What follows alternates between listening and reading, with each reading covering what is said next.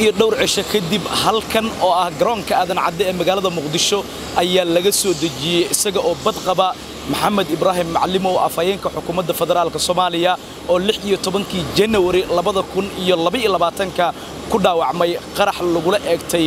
gaarigiisa isaga oo ka soo baxayay hooygiisa oo ku yaalla magaalada caasimadda ah ee muqdisho.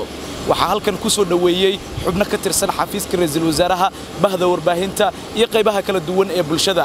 dhammaan dadkii ka soo qayb galay kulanka lagu soo dhoweynayey maxamed ibraahim macalimow ayaa aad ugu farxay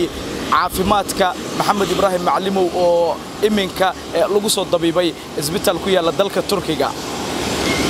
Ugu horrayntii kulanka waxaa ka hadashay ku-xigeenka xoghayaha joogtada ah ee xafiiska ra'iisul wasaaraha faadimo cabdi cali waxayna sheegtay in ay aad ugu faraxsan yihiin soo dhoweynta xilligan loo sameeyey maxamed ibraahim macalimow oo dalka dib ugu soo laabtay isagoo ka soo buskooday dhaawacii soo gaaray.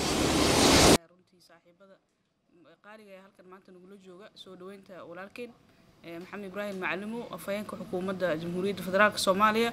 oo runtii dhibaato ay ka soo gaartay isagoo qarankiisa iyo dalkiisa u shaqeynaya waxaa farxadno ah mar inaan aragno isagoo runtii soconaya diyaar u ah mar kale inuu adeego qaranka. Waxaa farxadna gelinaysa muddada kooban uu runtii ku soo kabsaday. Waxaan ogsoonnahay inay niyajab ku tahay cadowga. Waxaan aaminsannahay in mar kale uu fursad u heli doono inuu qaranku u adeego. Rajaynaynan insha allah inuu ka guulgaaro ahdaafta nololeed uu leeyahay. Waxaan sidoo kale aaminsannahay runtii in dowladda soomaaliya iyo gaar ahaan xukuumadda iyo saaxiibadiisa iyo ehelkiisa ee mar walba runtii la garab istaagan yihiin taageero sidii hadda ka hor dhacday markii dhibaatadu soo gaartay. Waxaan uga mahad celinaynaa runtii ka xafiiska wasaare ahaan saaxiibada macalimo oo bahda saxaafadda ugu horeyso sida wanaagsan ee uga warhayeen intii runtii markay dhibaatada ku dhacday iyo markii la qaadayay. Iyo sidoo kale hadda intii lagu daweynayay dalka turkiga waxaan aaminsannahay ehelka keliya maaha qoyska laakiin saaxiibadu iyo bahwadaagta shaqada waa kuwa mar walba runtii dee dhiirigelinta siiya qofka isla markaana ku dhiirigeliya inuu sii joogteeyo dadaalada uu wado. Marka maanta waxaan halkan u joognaa runtii sharafna noo ah inaan soo dhaweyno walaalkeen. Dhinaca kale wasiirkii hore arrimaha dibadda soomaaliya yuusuf garaad cumar oo isna madasha ka hadlay ayaa waxa uu sheegay in uu aad ugu faraxsan yahay in maxamed ibraahim macalimow caafimaadkiisa xilligan uu soo hagaago isaga oo bad qabana muqdisho uu dib ugu soo laabtay macalimow muddada uu dowladda u shaqaynaya inkastoo uu mas'uuliyad sare hayo haddana waa muddo kooban. Waqtiga uu ka shaqeeyey iyo taariikhda uu leeyahay ayaa ka fog oo ah xagga saxaafadda. Dhallinyaradii saxaafaddana malaha waa ugu da-weynaha waxay dhaheen adiguna matal marka aadan ugu faraxsanahay in aniga ay ii xuleen in aan saaxiibkay macalimo soo dhoweeyo. Ilaahay ayaa mahad leh in aad ka badbaaday khatarta weyneed oo lagula soo beegsaday iyo khatarihii ka horreeyay oo badnaa oo aad soo martayba qofkii ilaahay dilo ayaa dhinta qof dad qorsheeyey khasab maaha inuu dhinto. Marka macalimu ilaahay badbaadiyey ilaahay u xamdi naqaynaa dhowr usbuuc ka hor waxaan ka hadlaynay ma nool yahay mise waa dhintay waxaan ka hadlaynay ma hadli karaa waxaan ka hadlaynay kooba miyuu ku jiraa maantana isagoo lugihiisa ku socda inkastoo weli dhutinayo gacantan u duuban tahay in uuna dhex joogo waa wax aad iyo aad loogu farxo. Soo dhowow ayaan ku leenahay magaca suxufiyiinta iyo saaxiibada faraha badan ee aad leedahay ee dalka gudihiisa iyo dibaddiisa ahba. Kusoo dhowow ilaahay inuu kugu guuleeyo ayaan rajaynaynaa wixii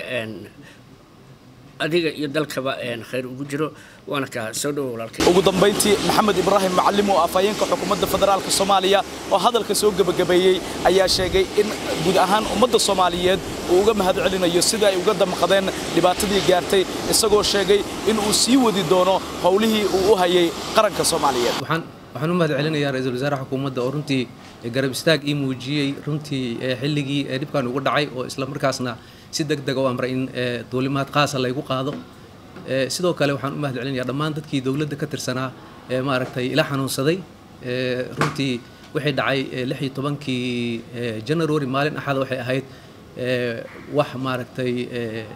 masiibo ah ilaaha naga badbaadiyey laakiin qulan yusiibana ilaa maa kataba allahu lana waxaan maaragtay xagga eebba kaaga qornay kuma dhici karaan marka qadarta allay ahayd waana ku qanacsannahay waxaanan rajaynaynaa in ilaahay uu iga dhigo maaragtay dembi dhaaf.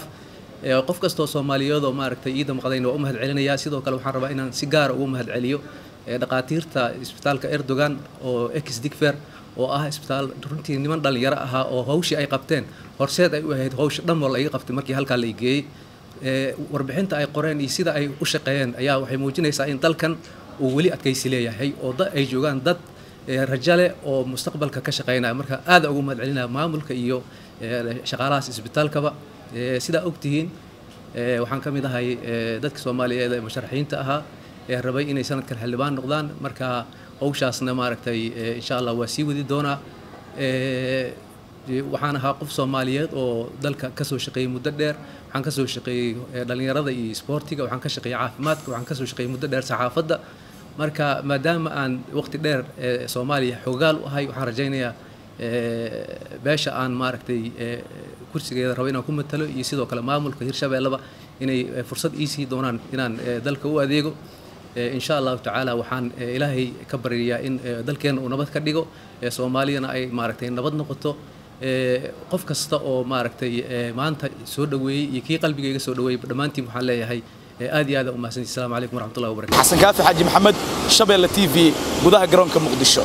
Shirkadda hormuud telecom waxay macaamiisheeda u samaysay qiimiyo dhimis ballaaran xirmooyinka internetka iyo kaarka ku hadalka ee adeega anfac balaas xirmada cusub ee labaatan iyo shanta senti waxaa laga dhigay afar boqol oo m b iyo toban daqiiqo oo ku hadalka gudaha ah halka xirmada bointy five kana laga dhigay siddeed boqol iyo konton m b iyo soddon daqiiqo oo ku hadalka gudaha ah xirmada halka doolar waxaa laga dhigay laba g b oo internet data ah boqol daqiiqo oo ku hadalka gudaha ah iyo konton fariin qoraaleed. Laba doolar waxaad ku heli kartaa shan g b oo data ah laba boqol oo daqiiqo oo ku hadalka gudaha ah iyo boqol fariin qoraaleed. Shan doolar waxaad ku heli kartaa laba iyo toban g b shan boqol oo daqiiqo oo ku hadalka gudaha ah iyo boqol iyo konton fariin qoraaleed. Toban doolar waxaad ku heli kartaa labaatan iyo sideed g b oo internet data ah kun daqiiqo oo ku hadalka gudaha ah laba daqiiqo oo dibadda ah iyo saddex boqol oo fariin qoraaleed ah. Ugu shubo e v c balaaskaaga xidig toddoba labaatan iyo afar xidig nambarka xidig lacagta afar gees ama kaarka ku hadalka